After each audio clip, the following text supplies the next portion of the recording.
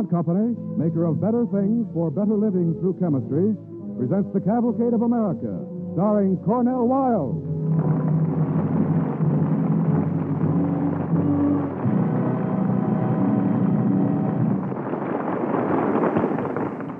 Good evening. This is Cornel Wilde.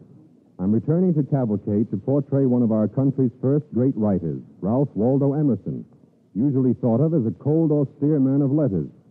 But tonight, we're going to meet Emerson as a young man, a young man in love.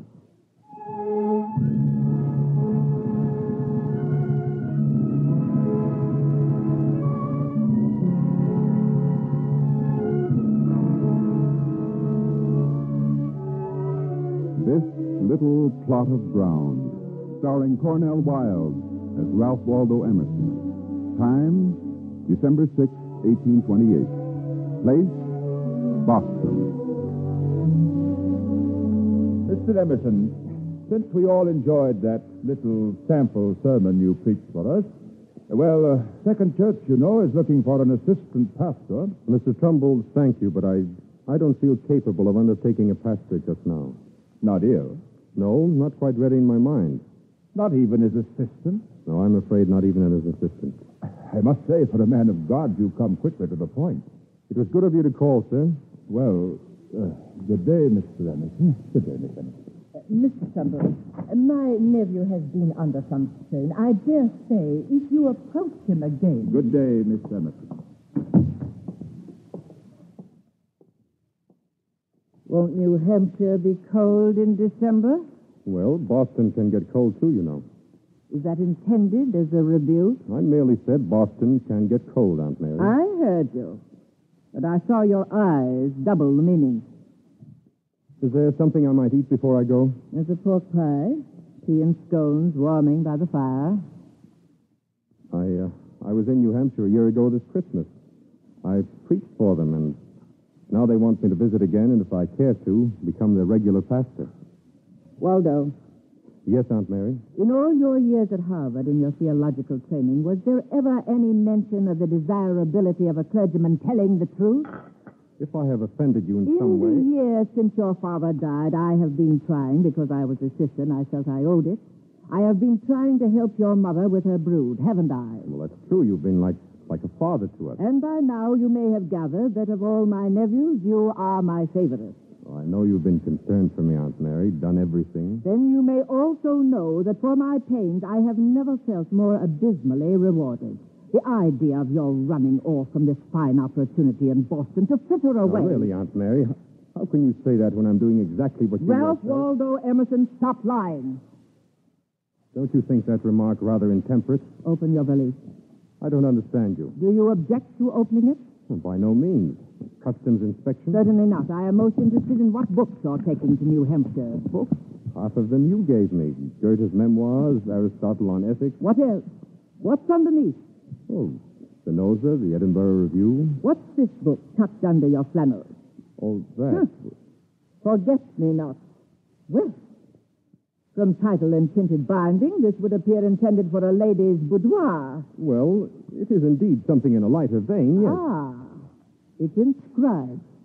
Perhaps to be a gift? Uh, to E.L.T., Christmas sleigh ride in New Hampshire, fondest in memory, dearest in prospect from R.W.E. Who is E.L.T.? Ellen Louisa Tucker, Her father. one of the elders in the church up there. Age? Seventeen. Isn't that rather tender? Or aren't you serious? Well, excuse me, it's past time for me to go. On that sleigh ride, will you utter words of matrimony? I intend to speak my mind. You think it likely little Ellen will accept? I think it most likely. What? Hand me that pen. I have a letter to write.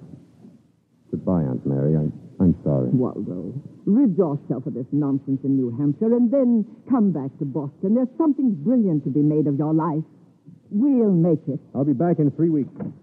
As you hear those sleigh bells tinkle, think of yourself in harness tinkling away your life hitched to a soft, silly girl. Goodbye. My dear Cousin Sam, kindly make inquiries about the person and family of one Ellen Louisa Tucker. She is of your neighborhood. Should you uncover any matter that might deter or interdict a possible marriage with Waldo, to whom, as you know, I have devoted good years of my life, and hence am most loath.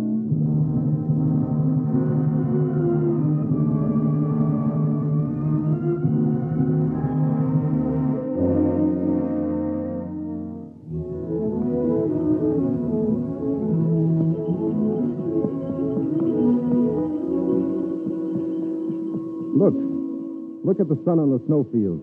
Everything white and a dazzle. In all New Hampshire, there's nothing but light and oxygen. Come along now.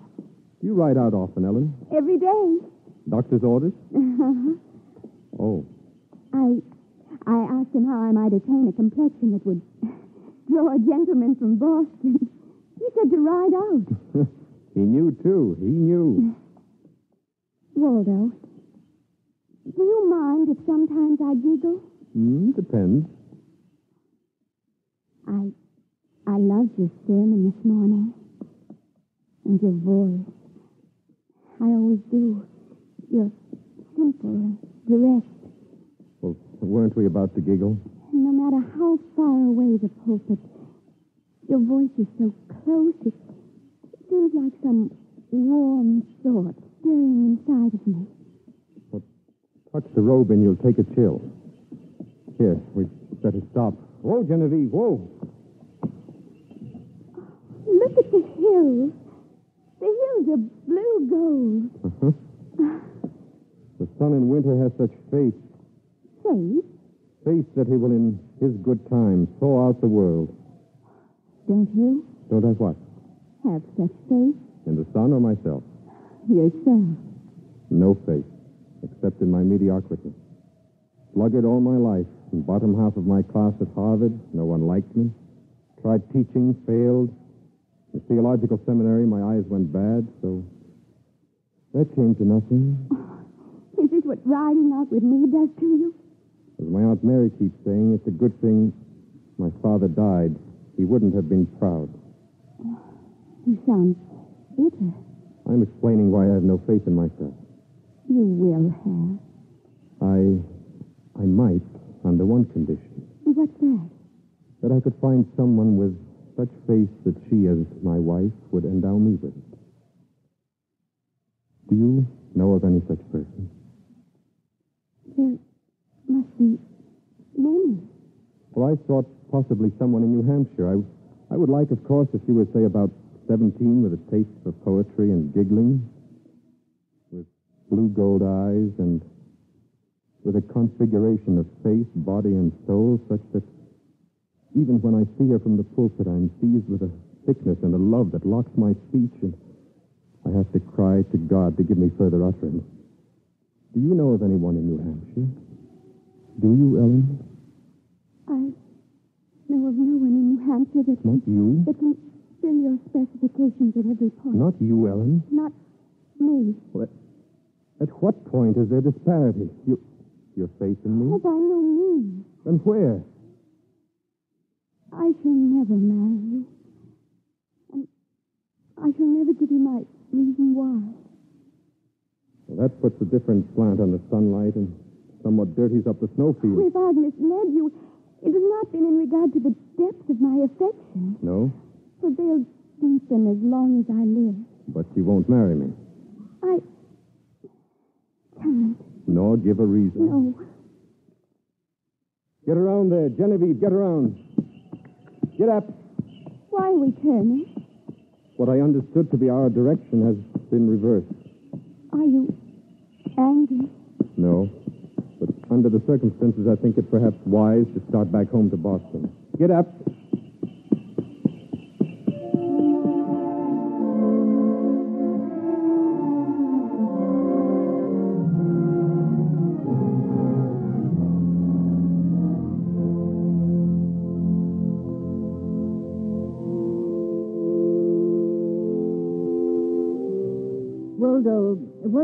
You expect Mr. Trumbull, or are you to go to the church?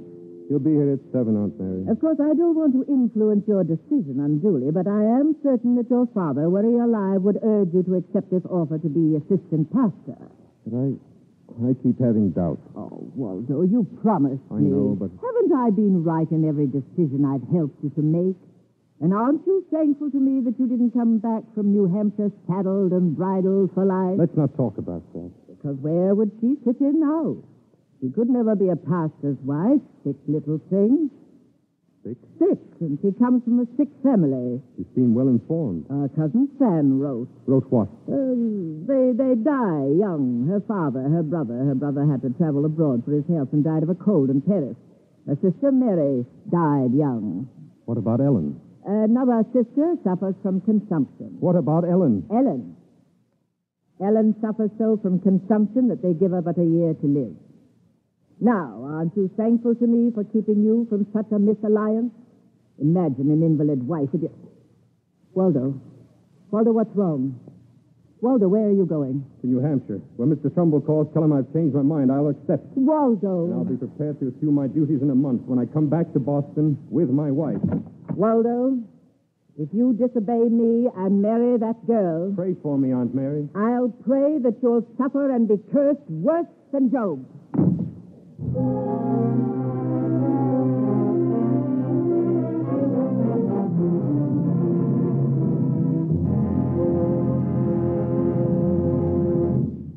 You are listening to The Cavalcade of America, starring Cornel Wilde and presented by the DuPont Company, makers of better things for better living through chemistry. In order that our families may enjoy better living, there are certain jobs around the house that just have to be done. One of them is keeping the kitchen spick and span. Now, any housewife will tell you that is a never ending job. But fortunately, there is a way to make it a little easier. Just repaint the walls and woodwork with easy to use DuPont Duco one coat magic enamel. Because modern chemistry has developed new pigments and new enamel formulas, you can use Duco and know that the white will stay snowy white or that colors will stay bright for years. Duco enamel, available in a range of beautiful colors, is one of DuPont's better things for better living through chemistry.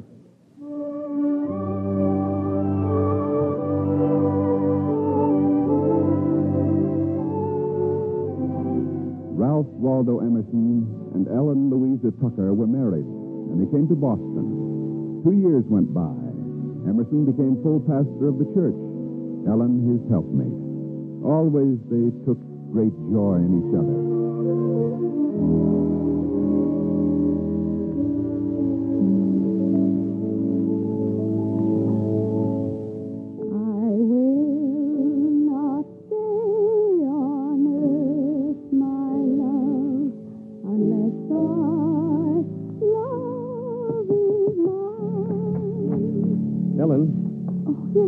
Is there more paper somewhere? Such a long sermon for next Sunday that I've. Who's that in the parlor? Oh, it's the doctor. To see me? Mr. Emerson, I waited because I thought I should say a word to uh, the two of you together. Oh? Darling, he's not very happy about me, but he can be wrong. A doctor can always be wrong. I'm quite certain I'm not wrong about this. Mr. Emerson, I should be loath to have Mrs. Emerson spend another winter in New England. Oh, well, suppose we went south for the winter. Of course, soft weather would... The West uh, Indies or Santa Cruz, Cuba. Ideal. I hesitated to suggest it because I assumed with your many church duties and your pastor's salary... Oh, we can work it out, I, I trust. Well, then I'll be going. I'm greatly relieved. Thank you for calling, Doctor. Good night, sir. Thank you. I look forward to your sermon on Sunday. Brilliant sermon. Oh, thank you. Young man, I find that following your mind each week provides me with um, a strenuous but uh, most exhilarating form of exercise. Good night. Good night. Good night, sir. Ellen, No, Waldo, I, I don't think we need any little conference about me. What the doctor told us we knew. Now, let's drink some chocolate. Hot on the hob. Ellen, we could manage the money, couldn't we? Weren't you happy to hear what the doctor thought of your sermon? If my sermons are that good, then I must be in an excellent position to ask Mr. Trumbull and his committee for December off. I've crackers and cheese with chives in it. You want me to pick out the hymns for Sunday? Ellen, sweet, stop a minute. Darling, when we married, you promised. Look at You me. promised never to fuss over me. You were never to mention this. Never, never. I know, but this is. You swore on your knees that always you'd look smiling on me as if I were Mrs. Methuselah who outlived her husband a hundred years. Oh, you're angry. Yes, I'm furious. This is our pact. This is our covenant. I'm only 19. I'm a girl. I'm not. I'm. I'm not an invalid.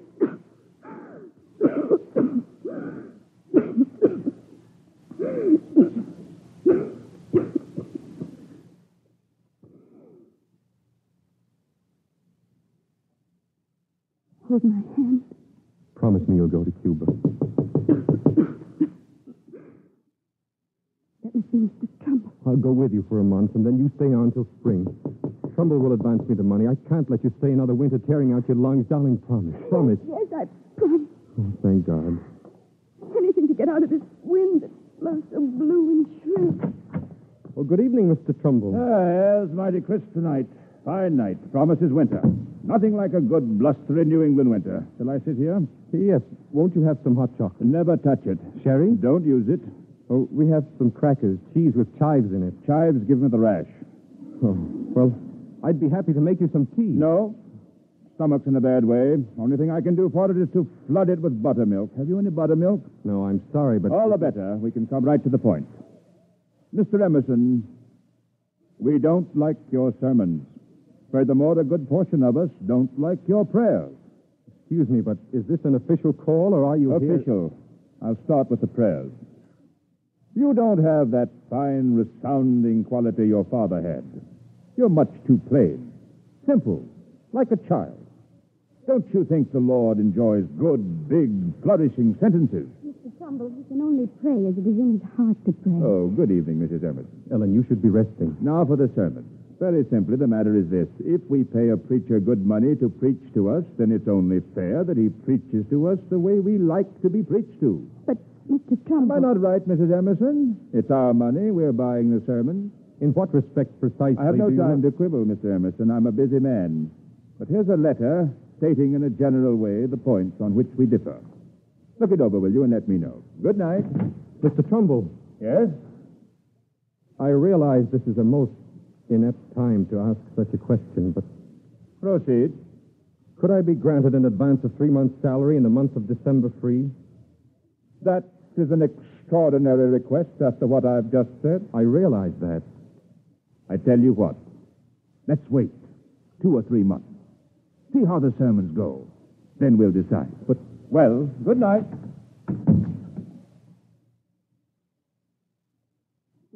Chocolate must be cold by now. I'd better go to my study. Where's that letter you left? Waldo, Yes, dear. burn the letter up. What you have to say, you have to say. I'll read it first. Waldo, if you ever change one word of your heart because of me, I shan't be able to live with you. Darling, be quiet. I love you. And I you. I'd rather die than harm your life. I'd, I'd rather die.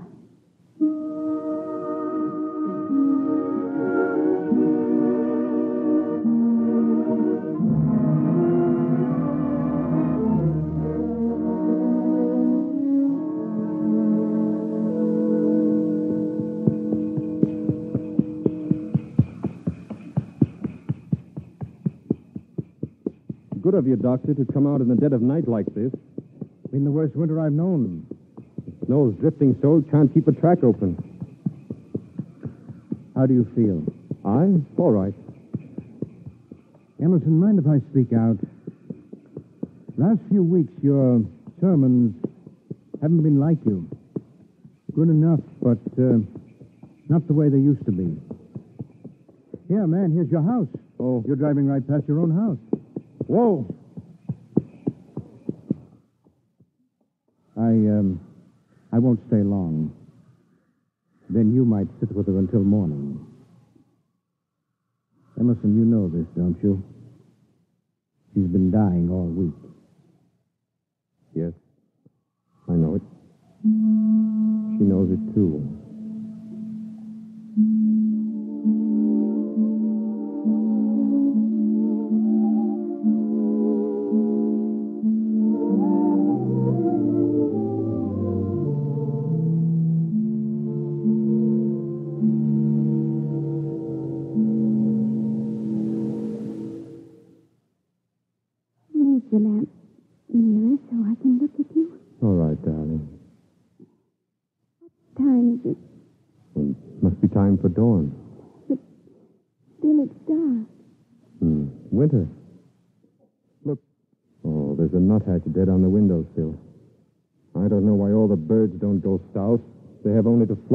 Waldo, I read your sermon for Sunday. Yes, It's not you. I know that. You should write a new sermon. No, my, my eyes are bad. I, I can't see to. Well, you, you could keep thinking about it till Sunday, then speak informally, as you feel at the moment. I doubt if I dare. Do you remember two winters ago, you were sleigh riding? Yes. Look, there's the east. The east is getting light now. The sun in winter has such faith What? that he will, in his good time, thaw out the world. That's what you said in New Hampshire. And that if I'd marry you, know such fates too. Shall I shall I take the pillow away? Waldo, promise me something. Anything. From now on, whatever you do or, or say, let it be because it's you, not Aunt Mary or Mr. Trumbull or even me. I I promise. Ah. Thank you, Waldo. Now, I, I think I'll sleep. Oh, I'll rest.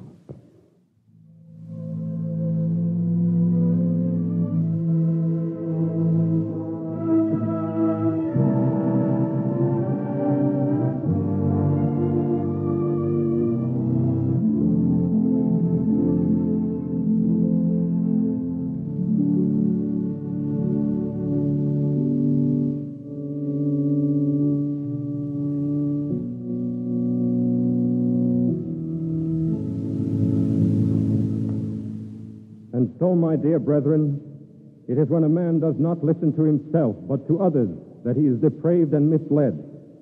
A trust in yourself is the height not of pride, but of piety. The good man reveres himself, reveres his conscience. Jesus said, Love thyself, God is within. Indeed, the more exclusively idiosyncratic man is, the more infinite. In very deed, the divinity of the individual is the basis of American freedom. For what you can get of moral or intellectual excellence out of this little plot of ground you call yourself, by the sweat of your brow, that is your own portion. And now, if I may speak in a still more personal tone, much as I am grateful to you for your sympathy in my recent sorrow, Still, I say to you that I can only preach or pray or live by abjuring the opinions and customs of all others and adhering strictly to the divine plan a few dim inches of whose outline I faintly discern in my breast. This I have now determined. This I shall do as long as I write or speak or live.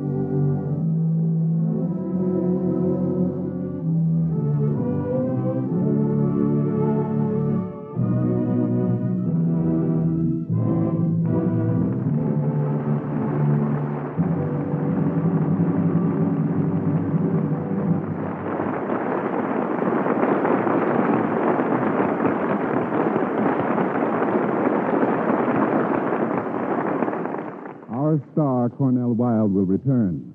Now, here's Bill Hamilton, and tonight he has with him three special guests. Two weeks from tonight, 12,000 safety leaders will meet in Chicago for the 37th National Safety Congress. And tonight, we are honored to have with us Mr. Ned H. Dearborn, President of the National Safety Council. Mr. Dearborn. Mr. Hamilton, I'm happy to be here to honor the DuPont Company as one of the most safety minded organizations in the world. For many years, DuPont has operated on the belief that all personal injuries can be prevented. Now, a new world's best no injury record has been won by the DuPont plant at Martinsville, Virginia. Something like 21 million man hours with no lost time injuries. This breaks a five year record held by another DuPont plant at Seaford, Delaware. It gives me great pleasure to present to Mr. Don Hartford, manager of the DuPont Martinsville plant, a bronze plaque signifying this achievement. Thank you, Mr. Dearborn. At Martinsville, we have worked hard to win this new world safety record. Keep a plant running year after year without any lost time injuries means that each and every one must think safety and be alert every minute of each working day. It is the men and women of Martinsville who have made this world record. I sincerely appreciate their efforts and cooperation, and I accept this award in their name. It will be placed in the plant as a reminder that injuries can be prevented. And now, ladies and gentlemen, I have another pleasant duty. The DuPont Company won the National Safety Council's Award for Distinguished Service for the war years 1942, 43, and 44. We have again voted awards to DuPont for its accident prevention program in the years 1945 through 1948. I now present a Distinguished Service to Safety pennant for this outstanding seven year record to Mr. H.L. Miner, manager of the Safety and Fire Protection Division of the DuPont Company. Thank you, Mr. Dearborn. What DuPont men and women have done in winning these awards is inspiring because it shows that all personal injuries can be prevented. If during the period for which the award is given, injuries had occurred in the Martinsville plant at the same rate as in industry as a whole, at least 250 men and women would have been seriously injured. 15 would have been killed or permanently disabled. For more than seven years, Martinsville has had no lost time injuries. A good example of how an effective safety program is preventing thousands of injuries in our plant. Mr. Dearborn, we will send copies of this distinguished service to safety pennant to all our plants as an inspiration to our men and women who are cooperating so diligently and sincerely to make DuPont plants safe. Thank you, Mr. Miner, Mr. Dearborn, and Mr. Hartford for joining our cavalcade for the presentation of the National Safety Council's awards to the Martinsville plant and to the DuPont Company, maker of better things for better living through chemistry.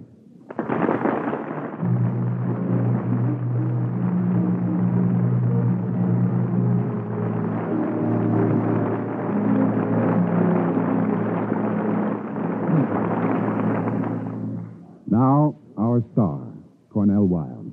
And it's one last word to tell you that next week, Cavalcade will bring you one of the loveliest and most exciting stars of the screen, Rosalind Russell. I'll be listening. Hope you all will too. Thanks. Good night.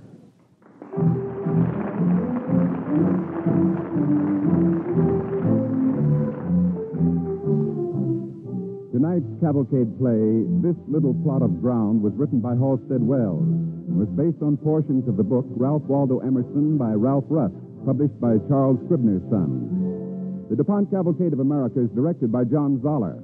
The music is composed by Ardon Cornwell, conducted by Donald Voorhees.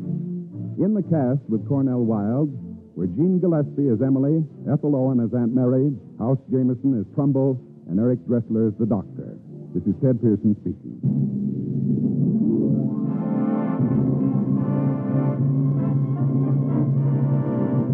Cavalcade of America is broadcast from the stage of the Belasco Theater in New York and comes to you with the best wishes of the DuPont Company of Wilmington, Delaware, makers of better things for better living through chemistry.